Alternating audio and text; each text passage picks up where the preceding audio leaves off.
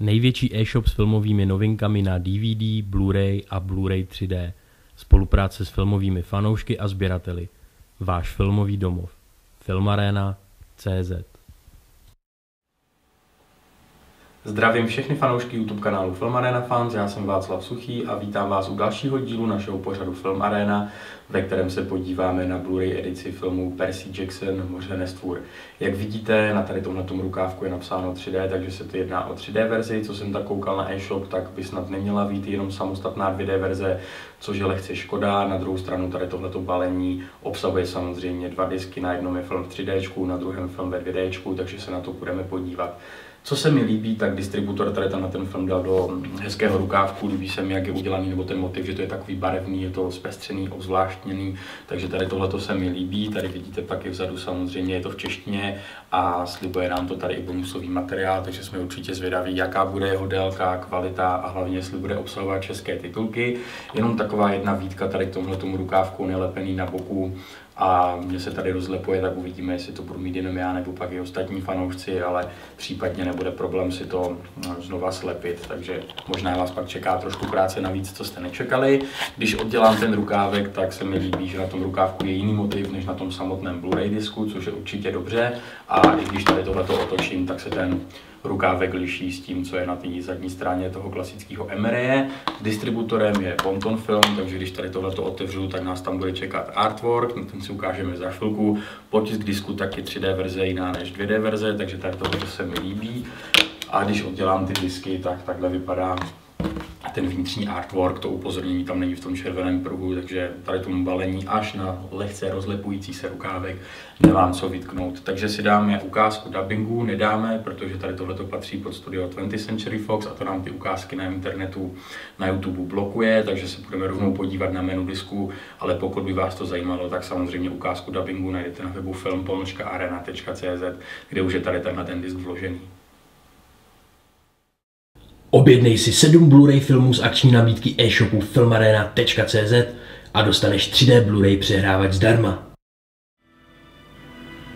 Dostali jsme se k menu Blu-ray disků Percy Jackson a Moře nestvůr. Jak můžete vidět, to menu opravdu povedené, protože se vám vždycky ukáže postava tady z tohoto filmu z profilu a pak nasleduje videosekvence, to jsou ukázky z filmu, kde tady tuhle tu postavu poznáte trošku blíže, celý tady tohleto podkresluje hudba, takže za mě určitě parádní menu. Já jenom podotknu, že se koukáme na 2D verzi tady tohoto filmu, protože ten 3D Blu-ray disk obsahuje pouze film, není tam žádný bonusový materiál, takže jsem to samozřejmě jako vždycky přeskočil.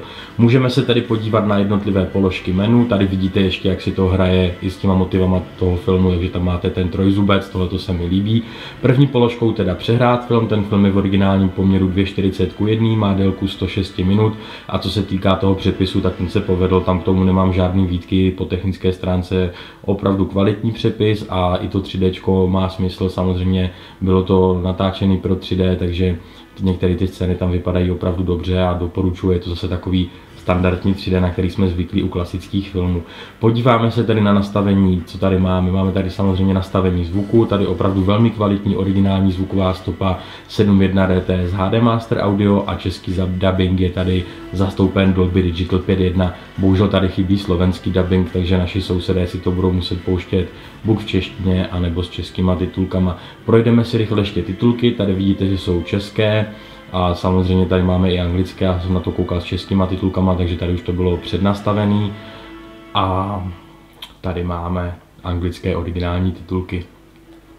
Podíváme se na výběr kapitol, poslední dobou mi studia dělají radost a není tomu výjimkou ani tady u tohoto filmu, takže dohromady tady máme 29, 32 kapitol, takže já s tím jsem spokojený, samozřejmě časová osa, která si opět hraje s motivem tady tohoto filmu, takže tady tomuhle tomu nemám co vytknout a budeme, samozřejmě jste můžete ještě uložit pak eh, záložky, vytvořit tam, kde jste skončili, pokud se vám nějaká scéna líbila, tak si ji tady můžete uložit a podíváme se na to poslední, co nás určitě zajímá, tak to je ten bonusový materiál.